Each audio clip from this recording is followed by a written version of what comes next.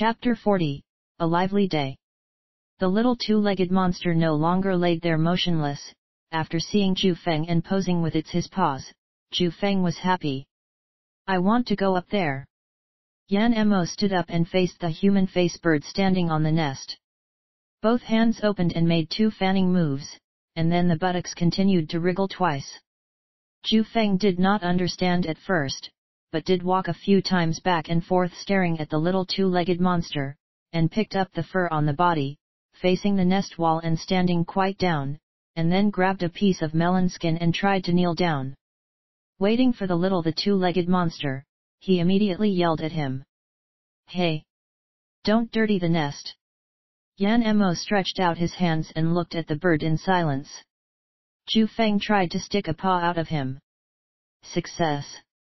This big bird really does not only have a human face, Yan Mo was annoyed, the bird's brain volume is certainly larger than the giant bird of the same general type. Yuan Zhan glared at his ankle, and this time he was fortunate that the human face bird did not directly grip his claws into his flesh when it snatched him, but held his ankle like a branch. So his right ankle and calf were feeling very painful, but the bones are fine, it may be swollen for a few days. Zhan, Look! Yuan Meng slapped him and pointed at the stone pillar. Yuan Zhan looked up and saw a man hanging from the nest at the bird's foot. When he was about half a person above the ground, Yan Mo let go of his hand and thrashed, and barely landed safely outside the nest. Jumping and yelling, Yuan Meng was yelling at Yan Mo, Little Mo, we are here. See, brothers. Not far away, the troubled brothers were trapped in the bushes waving, and Yan Mo walked to the edge of the stream yesterday, picking up the hem of the animal skin and relaxing completely. F asterisk CK, so cool. The boy who has not fully developed can't help but shake his body. Zhu Feng set his wings on the heights, looked at the small two-legged monster below, and the two big ones on the other side. Do I want to let them play with the little the two-legged monster? Great, you are still alive. Everyone thought you were dead, haha, I almost thought I was going to die. Yuan Meng was so happy that he couldn't help but beat Yuan Zhan while he was talking. Yuan Zhan was annoyed by his screaming and he slapped him. Suddenly awakened Yuan Meng jumped a bit, like just reacting and pointing to Yuan Zhan screaming excitedly, Little slave, little Mo, look. You see who this is, Zhan is coming. Yan Mo mouth twitched, this news is not happy news at all, how is it good that that bastard is here? He would rather Yang Wei come here rather than Yuan Zhan. At least Yang Wei is still relatively easy control to some extent, but Yuan Zhan. This kid is definitely a black belly bastard. Yuan Zhan is not a fool. He also saw that his slave was not very happy to see him, and the little slave seemed to have lost a lot of weight, but was much more free in his actions. This made him very curious about how the other side survived these days and how he managed to achieve such freedom. Yan Mo turned to the human face bird and said without resentment, I am hungry. He said that he patted his belly and pretended to hold something to his mouth, and the upper and lower jaws made a biting pose several times. This movement is easy to understand. When the chicks are hungry they are also screaming and opening their mouth. Zhu Feng quickly understand. Zhu Feng flew up, but it did not immediately go away it first flew to Yan Mo and stretched out his claws. Yan Mo didn't understand, but considering that it was not an objection, he held the paw again with both hands in order to express his surrender and friendliness. Zhu Feng carried and brought Yan Mo to the open space, lowered him and shook his claws. Yan Mo automatically jumped off. Zhu Feng was free to fly away, and the little two-legged monster can fun with them, and it doesn't have to worry about them fleeing together. Yan Mo, Yuan Zhan, and Yuan Meng finally won the victory in the sacred water of Lishan.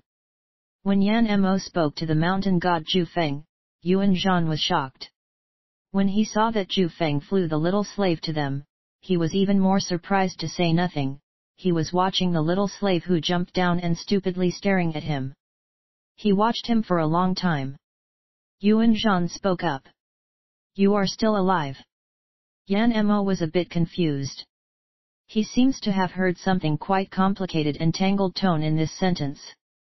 Yes, I am still alive. Why were you not eaten the mountain god Zhu Feng? Yuan Zhan asked directly.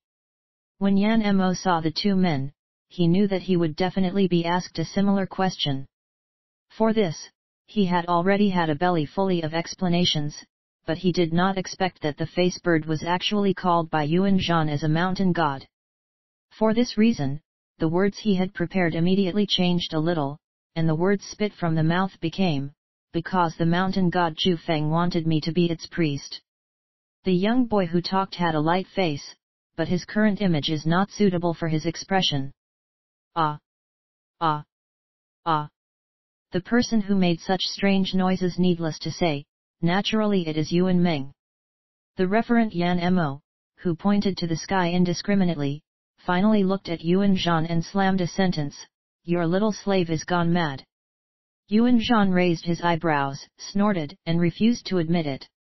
Are you a priest recognized by the mountain god?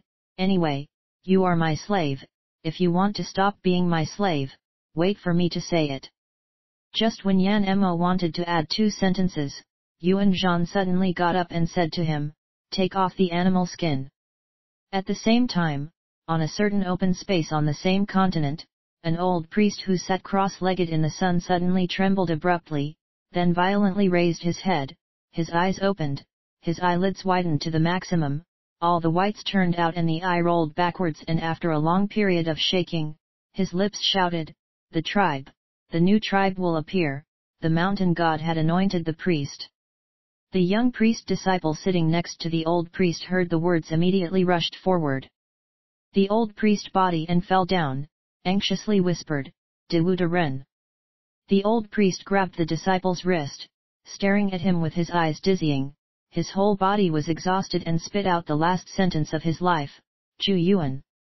This tribe will be our biggest enemy. And Yan Mo, who has been unaware of his tribe that is yet to be established, had been paralyzed for three seconds by Yuan Zhan's words. What are you talking about? He was very suspicious of what he heard in his ears. Yuan Meng also poked Yuan Zhan, don't be so anxious, don't you have any pain in your feet? I am not in a hurry to touch your slave. Yuan Zhan almost laughed at the two people. I wanted you to take off the animal skin because your leather is the largest. You don't want to get out of Lishan's ooze. This shrub is called Lishan's ooze. In order to show that he did not misunderstand the other party's intentions, Yan Mo pulled his body leather garments at the fastest speed. Wow! You are so smart! Yuan Meng eyes sparkled and he looked at Yuan Zhan admiringly. You also take off yours. Yuan Zhan was not very good at their current situation. How come do these two people don't feel even a little nervous? Is the mountain god so good to wait for? If it raises a hot you you end up as dinner. Besides, if the little slave became a priest, then what about him? Is he going to be dedicated to the sacrifice from the mountain god? At this time, if he doesn't die for the mountain god, why won't you run away, are you stupid? Yuan Zhan took apart Yuan Meng leather armor and wrapped it around his legs and feet, and then tied it with a leather cord. Then the leather arm that was removed from the leg was wrapped around the arm, and the leather armor on the body was not moved. And Yan Mo's animal skin suit was used to cover himself from the head, only trying to reveal two eyes. After being armed like this, Yuan Zhan walked with the skins removed from the two leather armors and walked toward the narrowest bush. Looking at him nervously behind him were Yuan Meng and Yan Mo. Yuan Zhan was responsible for the open road, not only to go out, but also to give the people behind to try to clear a way to pass. Once the shrubs grow, the roots will be entangled, but as long as the strength is great, they can be pulled out one by one, and the roots that are broken in the soil will not be threatened with the soil. Yan Mo looked up at the sky. He hoped that Zhu Feng would come back later, not when they were escaping, but that he wanted to prove one thing to the face bird. Fortunately, until all three of them came out safely from Lishan's shrub Zhu Feng have not yet returned. Although they came out, the three people did not come out unscathed. Fortunately, Yan Mo already knew how to treat this poison, and did not let the three of them suffer too much. However, because he was the last person to come out, Yuan Zhan, who came out at the front, had a painful experience time. Don't look at Yuan Zhan's whole body wrapped like a bear, but the animal skin is wrapped tightly, there were be some gaps, and he had the skin blisters. If the animal skin can made gloves but the technique is not here yet. A similar thing appeared, which eventually led to the most serious injury in his hands. He was very curious about the cobblestones, and he still wanted to take a few so he walked. The animal skin was soaked in the stream and they used a few stones to wash the ooze. Yan Mo said to the two warriors who were about to leave, You look up and see? What did you see? Yuan Zhan and Meng looked up at Yan Mo at the same time. The direction of the finger. Red grass. Yuan Zhan saw the long purple-red plant early, but he didn't think much about it. There are so many places in the world that are full of strange plants. Yuan Zhan reflexed toward the high ground near the red glass, standing on the high point and looking down, he slammed his head and ran over. In addition to the red grass, is that the lake? The reddish lake wouldn't be dyed red by the blood of the sacrifice. Yuan Zhan asked. Yan Mo looked at him with surprise. You didn't see that it was. Ah, Yuan Zhan could only see it, he almost forgot there must be different kinds of color salt the people of Yuan-Ji tribe had eaten. Probably in Yuan-Ji tribe, the kind salt that is known as the yellow-black half-crystal stones. See what? Yuan Zhan inexplicably felt that this matter was extremely important, and stared at the boy with a questioning look. Yan Mo did not answer directly, but said first, we can't leave here, because even if we escape now, we will have to come back in the future. Return? Why? Meng also came over and asked. Because the salt is here. One sentence stole two people attention. Yuan Zhan first reacted. He grabbed the boy and asked, Where is the salt? Didn't you already see it? Yan Mo frowned, and the boy's hand was really strong. If you don't you need to be a coolie. Someone has hardly suppressed the dissatisfaction of his heart. Yuan Zhan jerked his head and looked at the reddish lake, which was so big that he wondered if he would twist his head. Yuan Meng still a little bit paralyzed, looking around, what did you see? Where is the salt? That is called the red salt.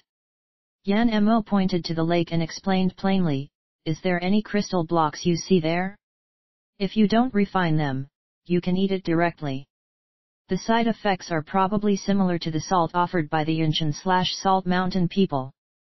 But if you recook and refine several of the crystal blocks with appropriate water for a few times, you will get a fine salt with almost no odor. As long as you eat it once, you will understand its benefits. Some words, Yuan Zhan didn't understand them but he understood the whole intention of paragraph. Surprisingly and unsurely pointing to the huge lake that they could not see the end margins ahead, Yuan Meng asked while he was stuttering, You, you mean, that, all the transparent stones like flowers in the lake are salt? No. Yan Mo shook his head. Excited, he thought, if the transparent stone in such a big lake is salt, then everyone should eat salt and save so much meat just eat a bowl and pour a bowl. Yuan Zhan didn't think so easily. He thought of the sea that the boy had said. He said that salt was in the sea. What about this place here? The water in this lake is not.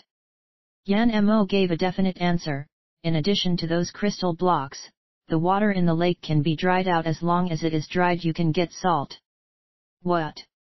Yuan Meng nearly fainted, you mean that big and big? How can a water in a lake turn into salt? Yuan Zhan may have looked calm, except that his hand was shaking slightly. Yuan Meng's reaction was the most real and direct. He absolutely doesn't believe it. He repeatedly asks Yan Mo, and keeps talking while circling him, really? Is this true? Is there so much salt? You won't be trying to make fun of me? Or, maybe I am dead, I was eaten by the mountain god, I am dreaming now. 1. Drama Boy if you are eaten, why would you still have to dream that kind of bullshit Yan Mo gave him an annoyed, bursting out. Grasping his hair with his hands, Yuan Meng looked like a man still in a dreamy expression.